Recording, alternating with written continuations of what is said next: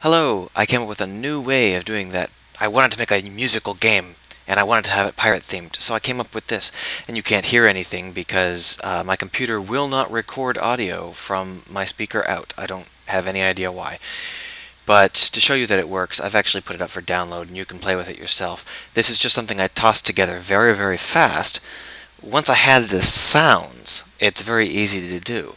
Um, finding the sounds was the hard part. I had to ask uh, a, really old Unix geek, and uh, he knew right away. Why Unix and free sounds go together, I'm not entirely sure. We'll leave that for another day. Anyhow, I've put this up for download. This is literally all it does, but it's pretty cool.